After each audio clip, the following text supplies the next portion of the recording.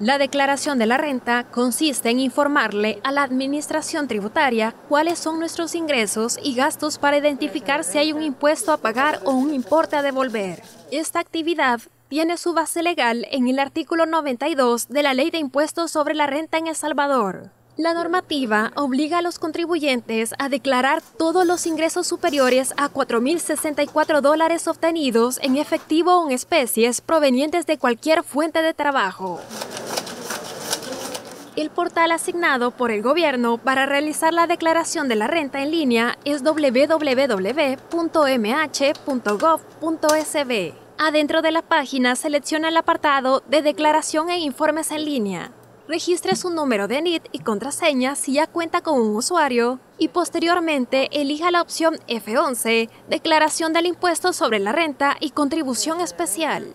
Sin embargo, la aprobación hecha a finales del 2021 por la Asamblea Legislativa permitiría que los contribuyentes puedan realizar este trámite con su número de documento único de identidad gracias a la homologación del DUI con el NIT. Lo positivo que en, la, en las reformas se planteó es en alguna medida dejar la disposición de la Administración Tributaria de plantear los tiempos para hacerlo. Y es que en la guía de orientación entonces la Administración Tributaria, porque el legislador así le, le facultó, él dice, señores, para la declaración de renta 2021, es indiferente que ustedes utilicen el número de NIT actual o lo hagan a través de esta homologación del DUI. Al final del día, si usted tiene NIT, siga declarando con NIT y no pasa nada. Pero eso sí, eso es vigente hasta el 30 de junio 2022. Pero, ¿qué sucede si decido no realizar mi declaración de la renta o coloco datos falsos? En este aspecto, cuando aquí eh, se ve manifestado el dolo de que sí se cometió con esa intención, ¿verdad?, de evadir eh, pagar ese impuesto, ahí sí va a ser multado con, ciento, eh, con 50% del tributo a pagar. Y en este mismo, ¿verdad? Código tributario también nos especifica cuándo se presume que lo hizo por dolo. Por su parte, el Ministerio de Hacienda ya ha solicitado una investigación fiscal sin que termine la fase administrativa ante una persona o empresa que haya tratado de realizar una evasión fiscal.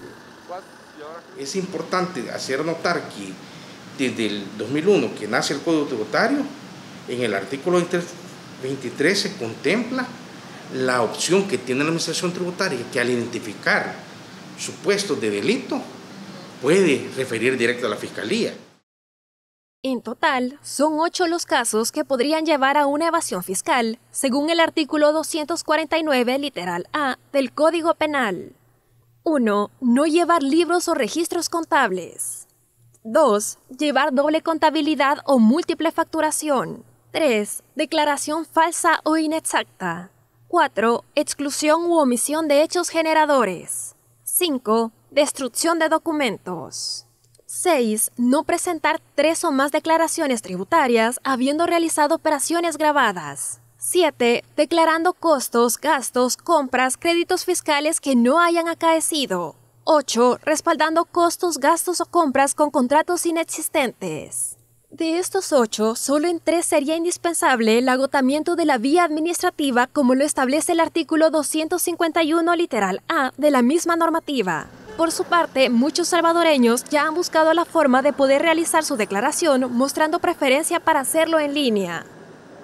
Es mejor para mí en línea porque este, me evito todos los tráficos, este tiempo, y etcétera, etcétera. Todos los inconvenientes que presenta uno está menos se riesga pueda salir. Así que por mí está bien en línea. Todo tiene su pro y tiene su contra, ¿verdad? Eh, podría decir de que sí, en unas áreas sí lo ha facilitado porque, digamos, ya no hay menester de salir de casa y venir hasta acá y hacer mucho, digamos, muchas reuniones y poder evitar lo que es la enfermedad.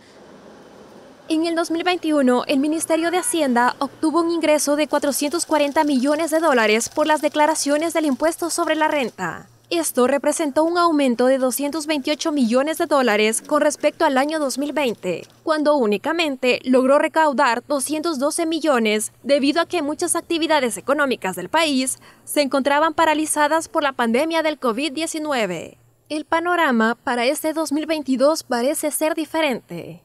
Maite Portillo, TCS Noticias.